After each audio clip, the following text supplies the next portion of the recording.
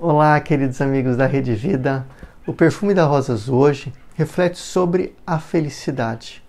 O filósofo Arthur Schopenhauer afirmava: a nossa felicidade depende mais do que temos nas nossas cabeças do que nos nossos bolsos.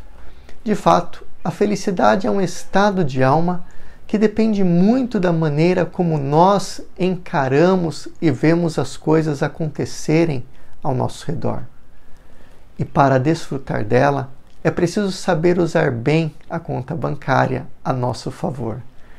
A sensação de felicidade está associada ao prazer, ao bem-estar e à percepção de sucesso, tendo muito a ver com a satisfação e o quanto as expectativas pessoais estão sendo cumpridas.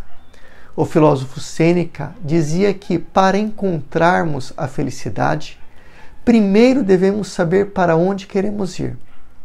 Segundo ele, a vida feliz é o resultado de um espírito livre, acima de qualquer paixão, medo, cujo único bem é buscar a dignidade. Algo muito importante que ensina o filósofo Sêneca no seu livro De Vita Beata é feliz quem está satisfeito com sua condição, qualquer que seja ela, e que aproveita aquilo que tem. É feliz quem confia a direção de tudo na vida à razão. Professor Fernando Tadeu para a Rede Vida. Liberdade para construir um mundo melhor. Tchau, tchau.